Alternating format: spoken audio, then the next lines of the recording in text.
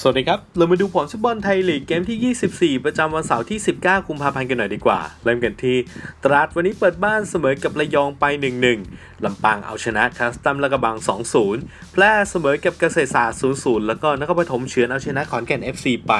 1-0 ก็เลยทำให้ตารางคะแนนในตอนนี้เนี่ยตราดยังนำเป็นจ่าฝูงที่ 55 คะแนน อันดับ 2 สุโขทัยมี 49 อันดับ 3ลำพูน 46 อันดับ 4ลำปาง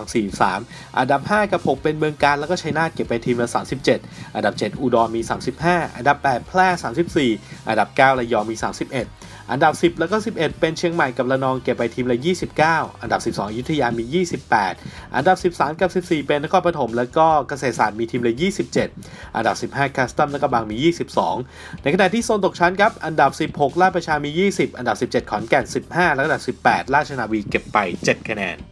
เดี๋ยวส่งท้ายกันที่โปรแกรมในวันอาทิตย์ที่ 20 กุมภาก็จะมีชัยนาทเปิดบ้านเจอลำพูนราชประชาพบอุดร เชียงใหม่เจอระนอง แล้วก็ราชนาวีจะพบกับอยุธยา